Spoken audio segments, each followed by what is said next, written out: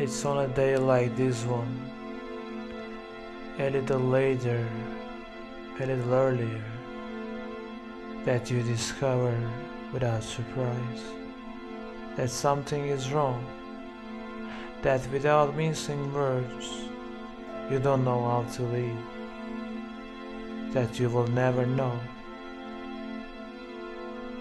George Perec,